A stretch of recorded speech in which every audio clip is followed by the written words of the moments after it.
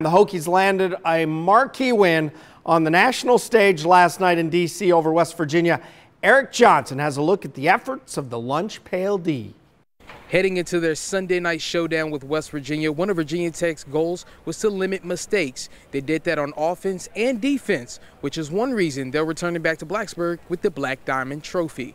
Bud Foster and the defense kept a handle on the Mountaineers in the first half, getting to quarterback Will Grier two times in the backfield and holding them to seven points and causing a turnover. You know, we knew what kind of a quarterback Will is. I mean, he's a competitor. He's got a live arm. He's athletic.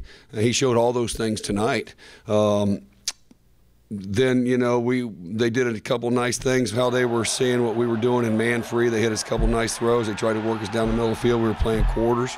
In the second half it was clear that both teams were more comfortable on offense and west virginia started to settle in. They had success going through the air multiple times which started to weigh on the hokies defense. But they ultimately stood their ground and on the final drive willed the team to victory.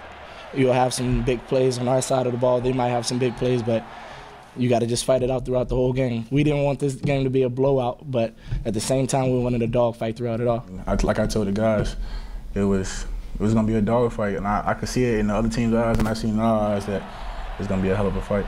Uh, we bent, but we didn't break a whole lot. You know, there was a couple plays we, we gave up that we busted some coverages, and they made a couple nice throws and got down there. And, uh, but uh, uh, you know, in the end, we, we played well enough to win the football game. Was it clean? No. Can we get a lot better? Yeah.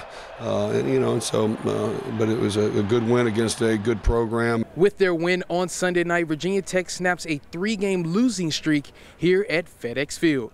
In Landover, Maryland, Eric Johnson, WSLS 10 Sports.